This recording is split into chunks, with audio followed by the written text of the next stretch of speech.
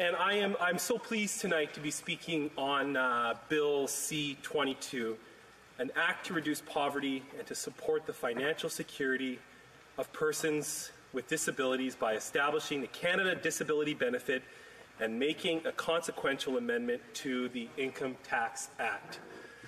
Madam Speaker, when I was thinking about this bill on my flight last night to Ottawa, I would be remiss if I didn't mention Bethesda Christian Association. Um, for the majority of my mother's life, Madam Speaker, my mom's volunteered with Bethesda, and subsequently, as her child, I volunteered with Bethesda as well.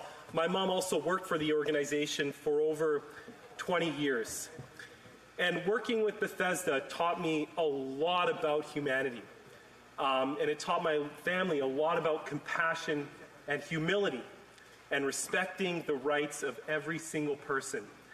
I have had the privilege of knowing one woman, Darlene, uh, who also went to the same church as me growing up, uh, since I was born. And one of my favorite childhood photos is sitting at the family piano uh, with Darlene.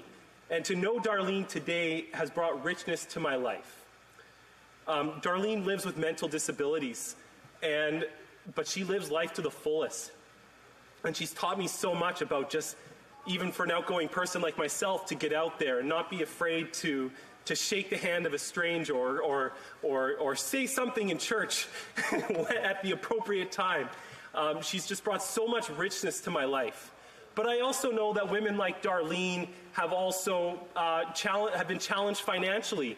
Um, irrespective of government, we've actually seen a reduction in support staff and direct supports for women like Darlene uh, living with disabilities. And that's not good. And as a conservative, Madam Speaker, one of the tenets I hold to is that the government has a responsibility to take care of people who can't take care of themselves.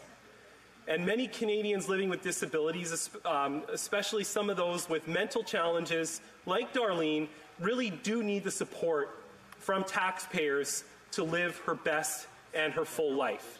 And as a country as rich in Canada, I don't think that's a hard threshold to make.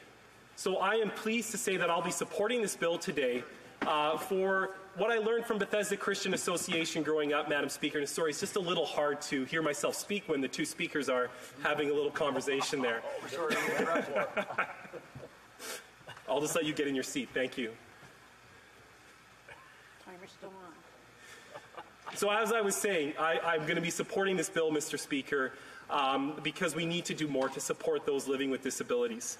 But when I was looking at Bill C 22, um, especially under the regulation section, section 11 of the bill, it says a lot. I'll just give a couple examples here. Um, point A, respecting the eligibility criteria. Point B, respecting conditions that are to be met in order to receive or to continue to receive the benefit. Point C, respecting the amount of a benefit or the method for determining the amount.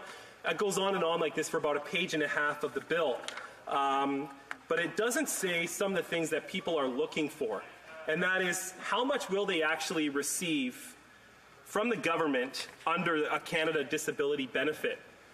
Secondly, what would a Canada dis uh, disability benefit cost to the public coffers?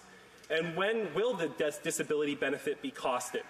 Another question upon reading the bill that I'm struck with is what amount does the government plan to provide persons with disabilities through the Canada Disability Benefit? Thirdly, how does the government plan on coordinating the Canada Disability Benefit with other provincial benefits?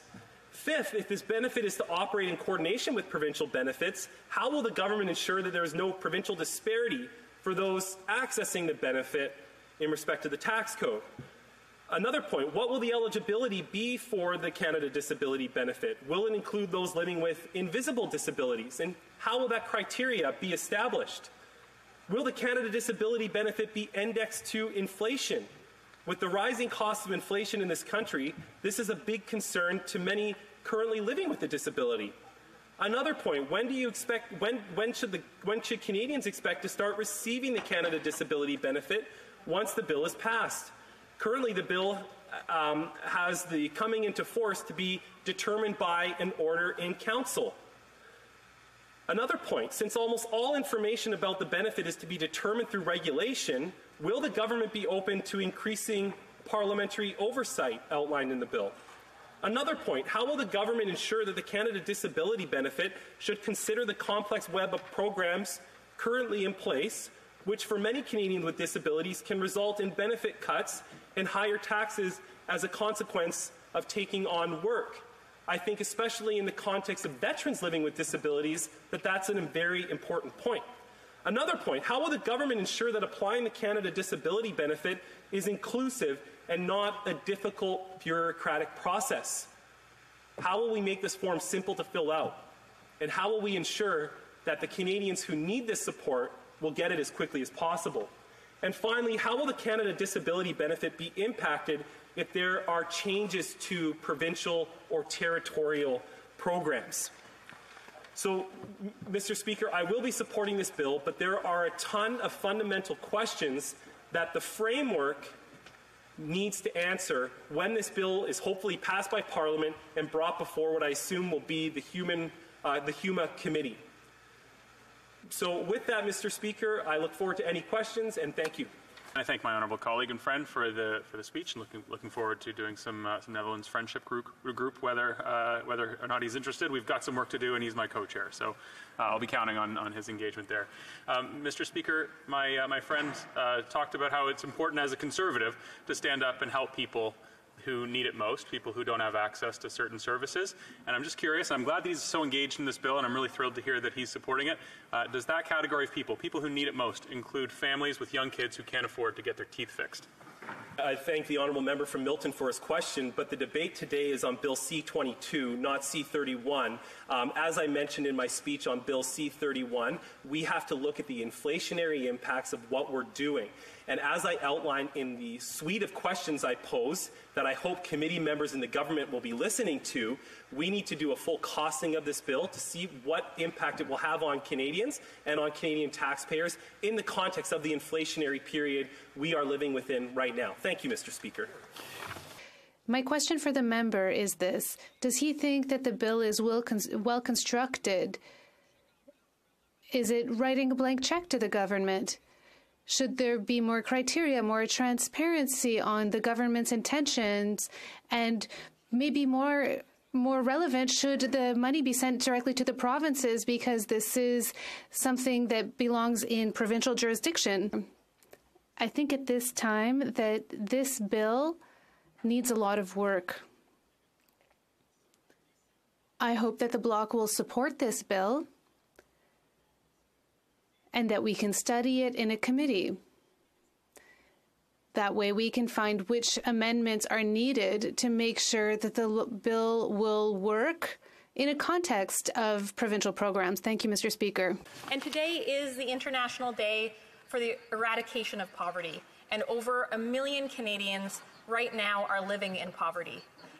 Having a disability benefit is so critically important, but this government has failed people with disabilities again and again and again.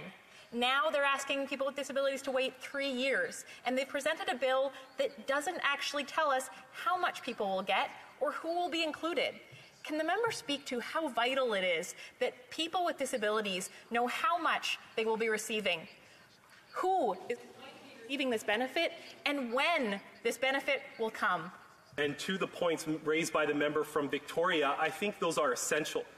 Um, going back to Darlene, whom I, whom I mentioned in my speech, Darlene going out for coffee at Tim Hortons or an ice cream and a burger at McDonald's, she has to tabulate that every single month. She lives dollar by dollar.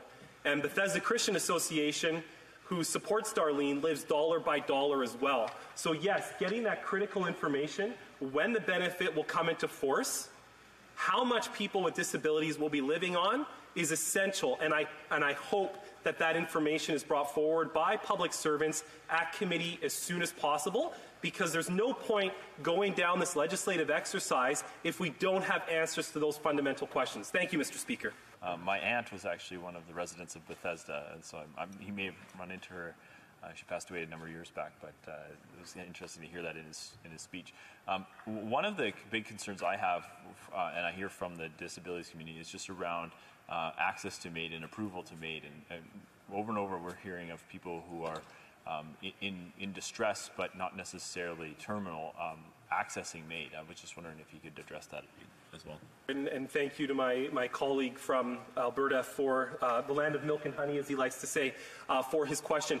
Just last year, or this year, um, if I'm mistaken, a, a woman in my, in my community uh, received MAID because she couldn't find adequate housing. Uh, so what we need to do as a government, as a society collectively, is ensure that human dignity is respected. And we need to ensure that people living with disabilities have hope and have support. And I hope that this framework and with amendments at committee, we can get there, Mr. Speaker, and provide a new level of dignity and a new level of hope for those Canadians. Thank you, Mr. Speaker.